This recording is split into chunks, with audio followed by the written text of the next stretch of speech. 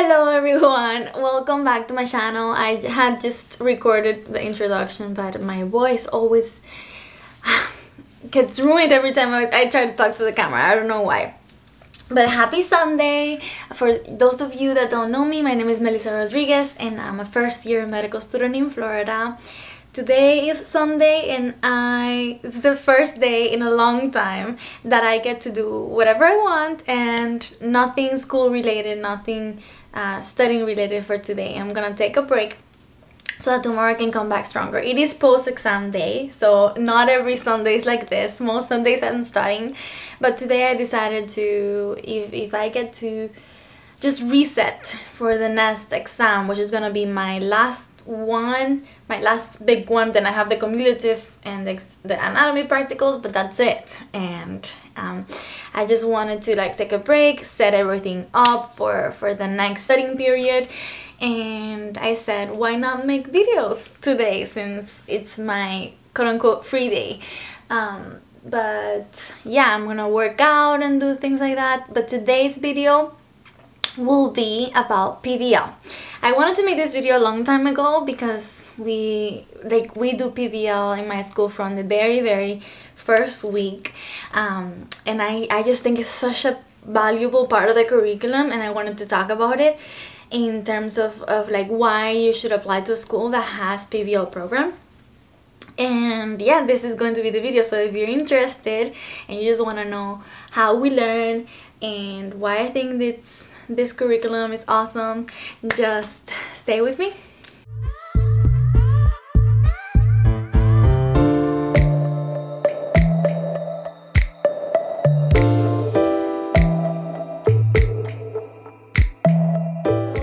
Of all, what is PBL?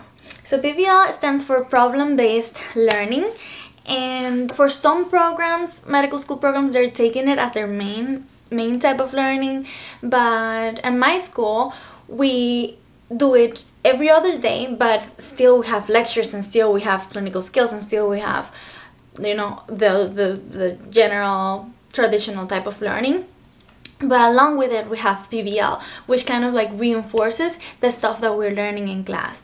And yeah I I'm gonna explain a little bit of how the logistics go. So basically we meet every other day usually monday wednesday friday at 10 a.m to 12 that's my, my most productive time and i like it because of that. That at that time i'm ready to go i'm motivated because it's my my most productive time. Then i get lunchtime and then i have my afternoon long but yeah. And then we have a group of like eight or nine students. My first group was nine students and the one that i have now is eight. So uh, in, in just my first semester we have had two groups because they changed us just for us to you know connect with other students and and socialize a little bit more than now that we are online. But yeah it's about eight to nine students and then a facilitator which is a professor um, that you know have has experience on doing this. But mainly it is a student guided process in which we learn from a case that they give us. The case they start by giving us general information and um, you know uh, chief complaints um, background about the patient. And it's really like I feel like it pushes us to learn. And we start making hypotheses based on what we get. And then we, we as we get more information we start building out what is called learning outcomes. And these learning outcomes are what would you like to know from this case that you can apply to many other things. And I just think it puts a lot of responsibility as us and student as students and it makes us um, it makes it be a lifelong learning process. It teaches us how to find um, you know reliable research how to find um, how to construct a PowerPoint, how to present a PowerPoint, which are skills that you're gonna need forever, right? Because every specialty that you're gonna go into as a doctor, you might have to uh, give a presentation on something later on and you want to be more educated uh, you want to be educated enough in that concept in order to present it with confidence so yeah I'm, I'm, i talk a lot but yeah that's mainly the logistics of it and for my school they are great writers. I don't know how they do it but i think they do such a great job at writing up these cases and they have multiple parts. So they will give us like two parts the first day let's say monday.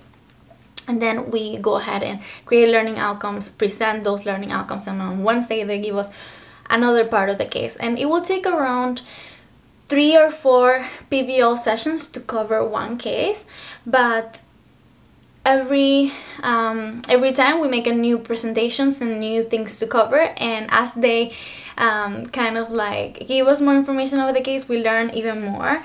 And it's not only about getting to the diagnosis but also learning the process of it and learning um, things that we could use in other circumstances as a doctor. It's just important information that is often related to what we're learning in the lectures. So we do have two lectures every day and we have no exclusions except for Veterans Day which is next week but every day we will have two lectures that's a, a given right but they will try to relate whatever case we're working on on PBL to those lectures.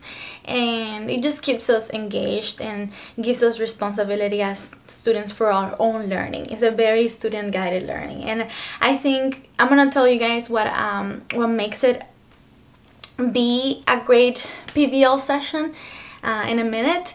But if it is well established and it is a good productive session it is a very valuable part of a medical school curriculum but I'm gonna give you some examples of what I have presented about. It's not even what all of my classmates have presented about, but um, just for you guys to see how many things we can learn from just doing these cases. I'm in case number 10 right now, and I feel like I, have learned so much.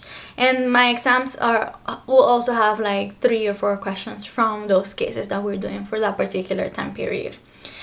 So for example, I have presented about hemophilia, blood, blood tests that are ordered for different things, um, how to analyze uh, complete blood count or CBC, how to analyze peripheral blood smears, what is, what is a left shift, for example. Those of you that are in medical school will, uh, will kind of like know more what I'm talking about, but just for you guys to have an idea of, of the stuff that we covered that is not is maybe touched on on the lectures but PBL is just another opportunity to kind of like dig in more into it and really understand what these concepts are about and they're not covered extensively in the lectures.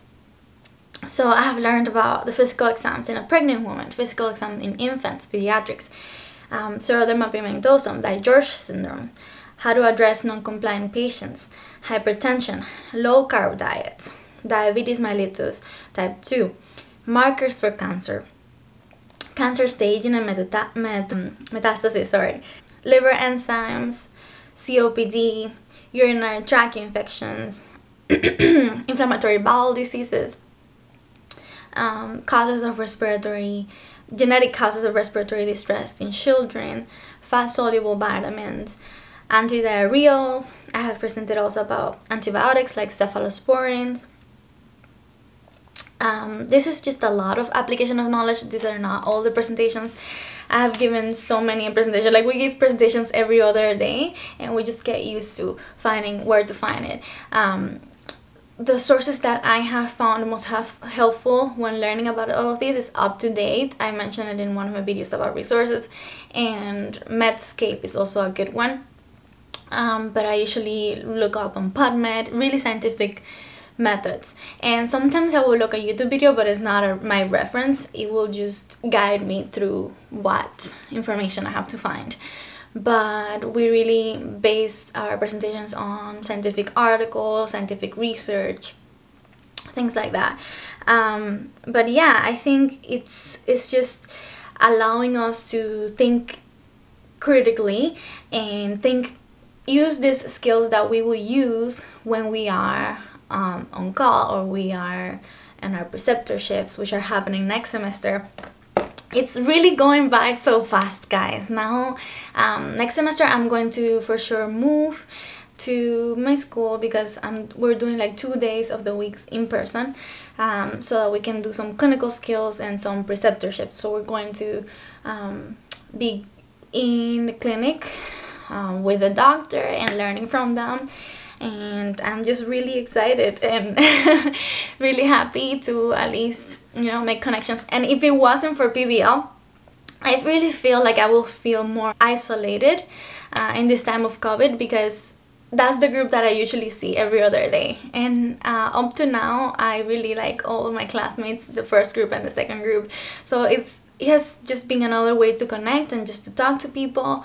Um, my facilitators are great as well um, it just takes a village you know and everybody needs to be connected everybody needs to be willing to learn excited everybody needs to um, you know collaborate and respect each other's opinions. That's that's what makes it a good productive session.